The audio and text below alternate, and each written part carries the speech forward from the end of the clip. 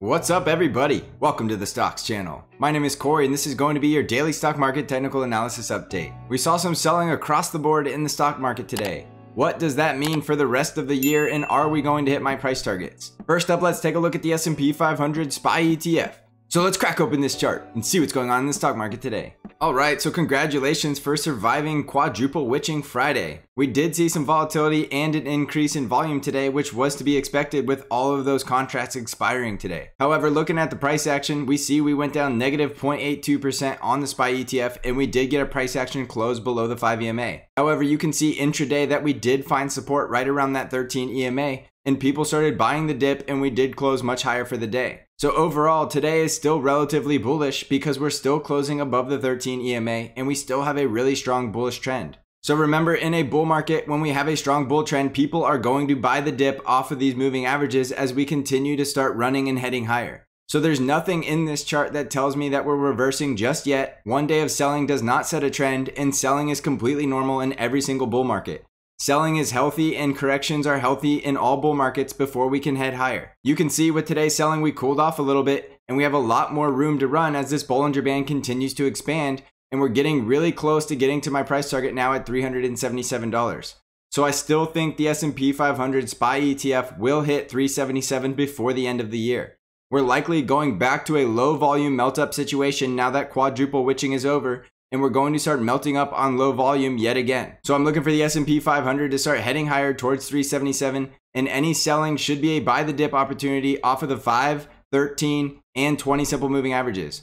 Watch those moving averages as support levels as we continue to head higher. On the NASDAQ 100 Triple Qs ETF, we got within striking distance of my $312 price target and we started to sell off. However, you can see the price action is still really bullish and we saw people buying the dip around the 5 EMA and my support level at $308. We did close above the 5 EMA and we still have a very strong bull trend on the NASDAQ 100.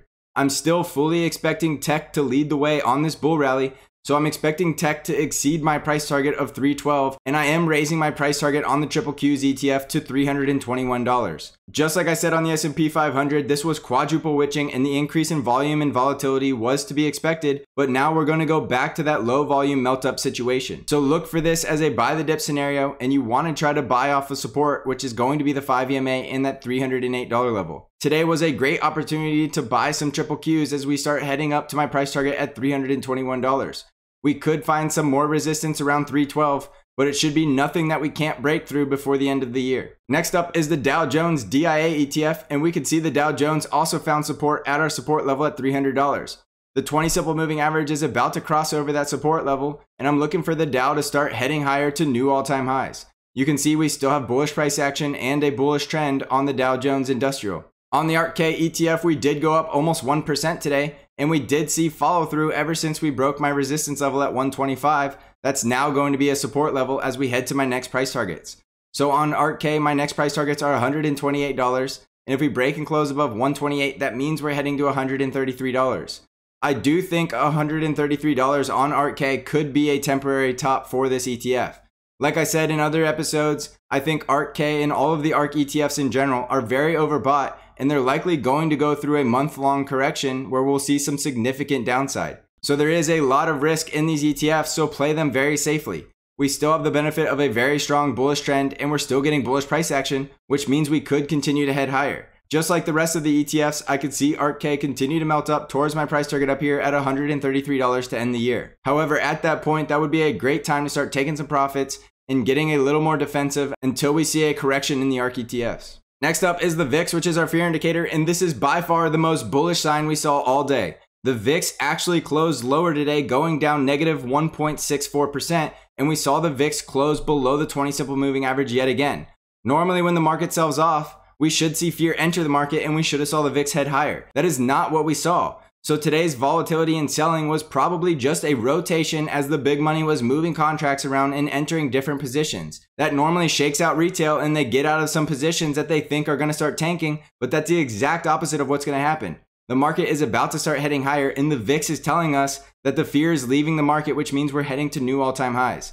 So the VIX is telling you a very important story today. You just got to listen to it. Next up is the dollar, and we still see the dollar weakening, and we're still getting bearish price action closing below the 5 EMA. We have a very strong bearish trend on the dollar, which means the dollar is going to continue to head lower towards our next support level down here at $89. A weak dollar is a strong stock market. So I'm looking for the dollar to continue to head lower as the stock market continues to head higher. We did see the dollar bounce a little bit today and we did see gold cool off a little bit. As gold finds support, it should have no problem getting to my price target at 1930 as the dollar continues to weaken. So you can see that gold has very bullish price action and it's starting to pick up some bullish trending. So I'm very bullish on gold and I'm looking for gold to get to my price target at 1930 in the very near future. On silver, we broke through that resistance level at 25 and we're starting to rip higher towards my next price target at 26.57. So I'm bullish on silver and I'm bullish on gold and the precious metals should continue to head higher as the dollar weakens. On Bitcoin, we see a little bit of cooling off after a monster bullish run, but we still have really strong bullish volume and we're still closing over the 5 EMA with a really strong bullish trend. So Bitcoin really has no resistance at this levels and it's just going too far too fast and it's taken a second to cool off on its way to $25,000. We could see some selling and we could see some consolidation once we get to 25,000, but there's almost no resistance until we get there. So I'm looking for Bitcoin to get to $25,000 with no problem at all. On Amazon stock, we did see some selling today, but we did find support at that 5 EMA and we were trading lower for the day and we saw people come in and buy the dip and we closed back over a bullish price action close over all of the moving averages. We're picking up some bullish trending on Amazon and you can see that that 20 simple moving average is starting to cross over the 50 EMA. Amazon is about to start moving in a very big way because you can see Amazon has basically gone nowhere ever since the beginning of September. So when a stock like Amazon consolidates for that long and it finally starts breaking out to the upside, it's going to be moving with a lot of power and a lot of energy, which is likely going to drag the NASDAQ 100 much higher as Amazon continues to head higher. So I'm bullish on Amazon and you can see the bullish price action and the bullish trending building and Amazon should have no problem breaking through my resistance levels at $3,300 and continue to head higher. On Apple stock, we see a very similar sign cooling off and finding support at the 5 EMA with a very strong bullish trend. Ever since Apple broke $124, I raised my price target to $136. Once Apple is done cooling off, it's going to start running towards my price target of $136. Remember, Apple is a market moving stock, so if it's heading to $136, it's going to drag the rest of the stock market higher with it. On the financial sector, we see it finding support right at that 13 EMA and the 20 simple moving average, and we still have the benefit of a bullish trend. On the industrial sector, we're still closing over the 5 EMA, so that's bullish price action, and we still have the benefit of this bullish trend. On the healthcare sector, we see the price action over the 5 EMA in a very nice strong bullish trend, and we saw a lot of people buy the dip on healthcare today, driving the price much higher than the low of the day. So going back to the S&P 500, you can see we still have bullish signs across the board. We're still going to have a weak dollar, which is a strong stock market, and we're seeing fear continue to leave the market. And as the fear bleeds out of the market, we're likely to just keep heading to new all-time highs. Remember, there is the Stocks Channel Discord. If you're looking for a disciplined and profitable trading community, we are absolutely nailing this market and we're making profits every single week, no matter what the market does. I can't stress it enough that you don't want to be bearish in this market and you don't want to be trying to call a top or shorting this market. This market has a very strong bullish trend and it's likely going to continue to head higher for many more weeks to come. I really don't see the market reaching a critical top until sometime next year, which we will go over when the time is right. Let's trade the chart in front of us and let's recognize that we're seeing bullish price action and bullish trending. And remember, as it cools down outside, you really need to crank up the heat.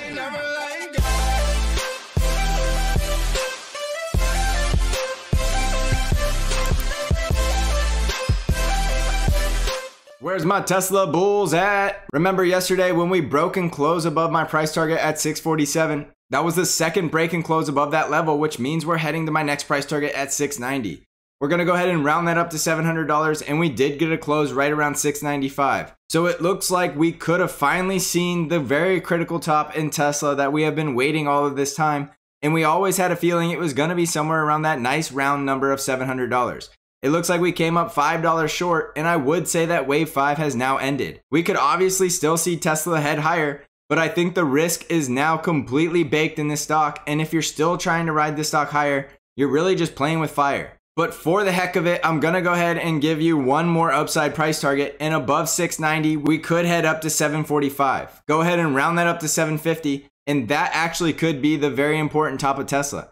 However, I think it's playing with fire if you're trying to ride Tesla to 750 at this point because it's now going to be in the S&P 500 and now it's going to trade with the index and it's no longer going to be that stock that people are going to try to manipulate. So following the price action, it's still extremely bullish, and following the trend, it's still extremely bullish.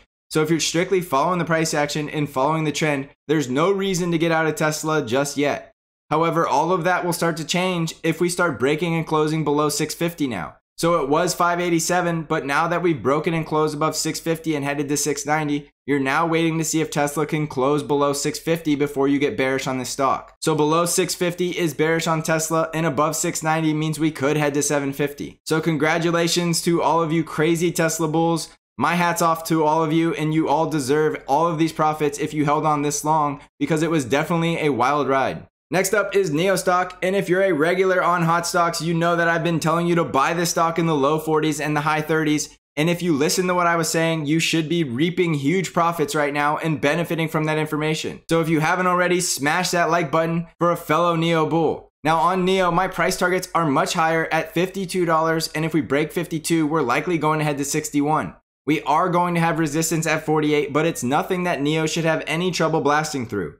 I now consider NIO a running stock, and I would buy the dip on almost every occasion as NIO continues to head higher. When you find a stock like NIO and it begins the run, you want to let it run, but you also want to start adding into your position slowly as it has dips on the way higher. I have this stock finishing my wave 4 and heading into wave 5, and you saw how bullish and how explosive Tesla's wave 5 was. NIO is a very popular stock, and I know a lot of people have been waiting to get into this stock. So anybody who hasn't already gotten to this stock is eventually going to FOMO in, which is only going to send NIO higher.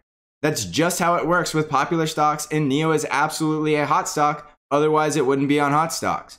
So I'm looking for NIO to blast through my resistance level of $48, and then it's off to the races to the 50s.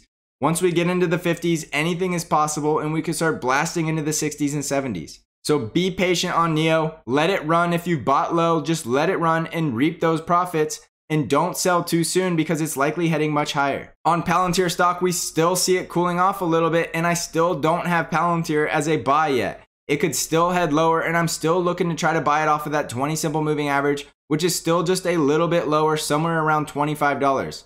As that 20 simple moving average heads higher, it's likely to start pushing up on the price, and we could see Palantir start being bullish once again. But right now, it looks like Palantir is still finishing out its consolidation, and we need to see that bullish breakout before we get too bullish on the stock because it could also break out to the downside and head much lower. So if Palantir breaks out to the downside, we're looking to buy it at $24 and $21.